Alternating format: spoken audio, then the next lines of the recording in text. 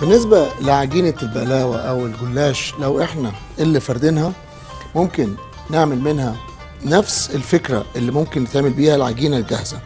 بس الفكرة طبعا لما تكون عجينة معمولة في البيت هتبقى مختلفة أو حتى موصين عليها. لو إحنا عندنا مخبز قريب نقدر نوصي عليها هتكون مختلفة في آه، النوع بتاعها يعني يكون عجينة طازة. هنا بتبقى رقات كل رق مفروض لوحده ولو جايبها مربعة ممكن استعملها مدورة نفس الشيء. ممكن نستعمل كل قطعة موجودة هنا أهوت. هنستعمل في العجينة ديت آه، نعمل حاجتين. بصرف النظر عن مسميات هنحشي واحدة بالقشطة أو الاتنين هنحشيهم بالقشطة بس واحدة تعمل وحايد لكل شخص واحدة أو تبقى حاجة كبيرة وكل واحد ينهش منها. فهنعمل هنا أهوت أول قطعة بنعمل نقطع ديت ك كل القطع الزيادة اللي موجودة ديت هنخليها على جنب هنستعملها. بنعمل أول واحدة على أساس إنها تبقى عندي شبه اللي هو المعين اللي هو شبه متوازي الأضلاع أو متوازي الأضلاع ومش شبه متوازي الأضلاع. وبقطعها هنا بحيث إن أنا حسب حجمها اللي أنا عايزه بقطعها يعني بقطعها بالطريقة دي. وبعدين باجي في الزاوية يعني بنقطع الزيادات ديت. وبعدين بنعملها على أساس إن ده هيبقى زي مربع نقطعها بالطريقة ديت. أو هيبقى مثلث يبقى ده المعين اللي بقطعه والحتت الصغيرة دي بخليها. أما النوع التاني بستعمل بجيب طبق وبقطع ديت كقطعتين هنا أهو. طبعا حسب عدد الرقات اللي أنا عاملها. يعني أنا عامل ثلاث أو أربع أو خمس أو ست أو سبع رقات وزي ما قلت هتبقى المستوي اللي جايبها جاهزة غير اللي أنا بعملها العجينة نفسها بتفرق. في الحالتين مش هنحط في قلبيها زبدة من تحت أو سمنة. انسى استعمل دي بعدين. يبقى عندي هنا طبعا حاسس إن أنا بعمل باترون بفصل زيتين أو مهندس بنقول مثلثات ومربعات ودوائر. لكن الفكرة فيها إن إحنا بالأشكال ديت هنعمل الحلو اللي إحنا نستعمله. في قشطة. القشطة اللي هي الطازة بيبقى مختلفة عن القشطة اللي هي حليب بيغلي وتحط عليه شوية من النشا.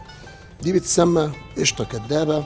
أو القشطه اللي ممكن مطبوخة أو الحليب حسب اللي أنتوا تحبوا تسموه.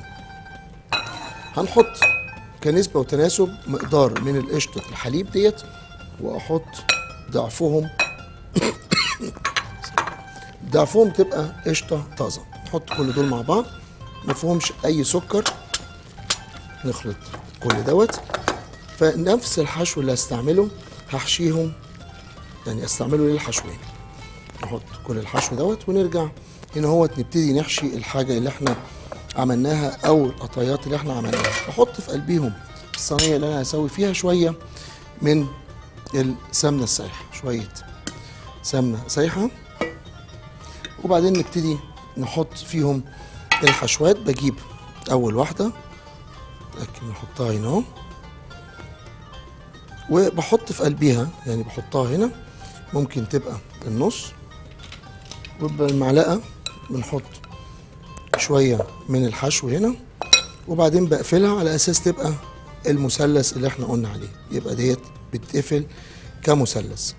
نجيب واحدة كمان هنا نحطها في الجنب وبحط الحشو في النص احطها كمية كافية من القشطة وبعدين بقفلها وبتبقى ديت المثلثات اللي هي بتبقى بتتسمى شعبيات.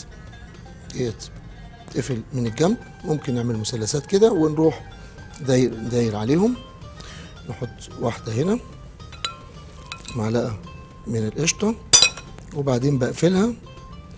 وبعد كده بكمل نفس الحكاية ونحط عليها شوية تانية من السمنة يبقى ديت اللي بتدخل الفرن وبسويها وأسيبها تستوي على هذا الأساس. الطريقة التانية اللي هي الطبق اللي أنا عامله بجيب الصينية وبرضو بحط فيها شوية من السمنة بتكون سمنة سايحة. والطبق اللي إحنا عاملينه بناخد القاع الأول القاعدة اللي فيه بنحطها هنا وعشان أحشيها اعمل له زي سور. فالسور هيتعمل من إيه؟ كل الحتت اللي إحنا قطعناها ديت بنجيبها هنا أهو.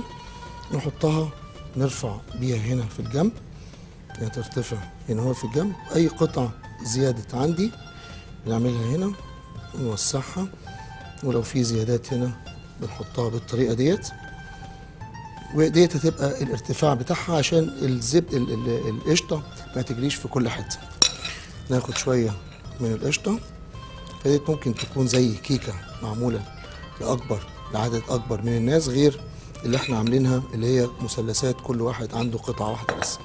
بعد ما نحطها هنا أهو شوية صغيرين من السمنة جواها هنا بس على عشان دي تبقى محمرة ما تبقاش عجينة كلها شوية صغيرة من السمنة.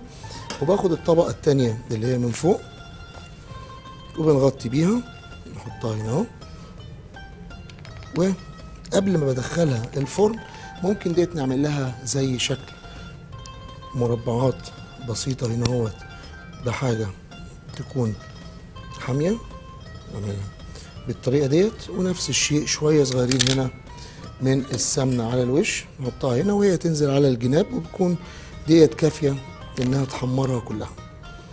لو في فرشة ممكن نستعملها وديت بتكون اللي هي زي ما بقول بتتسمى نهش على أساس إنها تبقى قطعة كبيرة وبيتنهش منها أو بيتشال منها.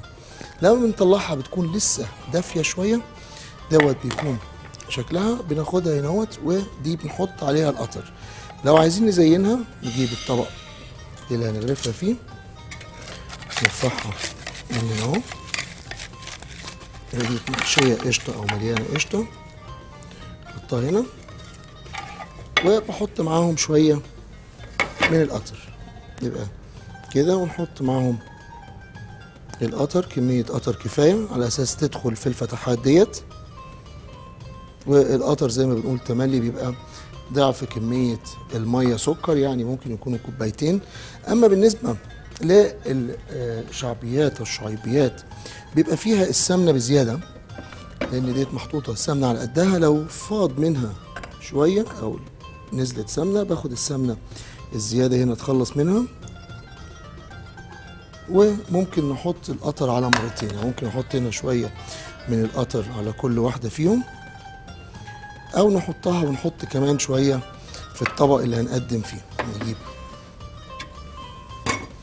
الطبق اللي هنقدم فيه ونبتدي نرصهم هنا. ديت بتبقى محشية قشطة.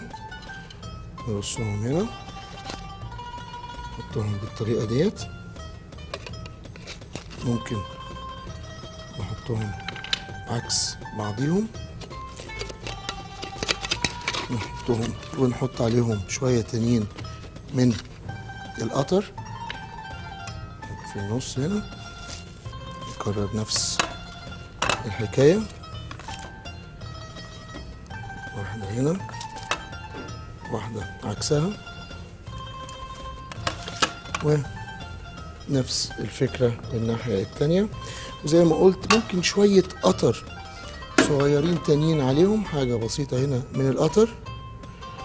ولو حبينا ممكن بنحط عليهم شوية من نفس فكرة الحشو. يعني إحنا كان عندنا في الحشو حاطين قشطة فممكن نجيب شوية من القشطة نحطها هنا على النعش أو نحط عليهم من جوه هنا كعامل مشترك شوية من القشطة.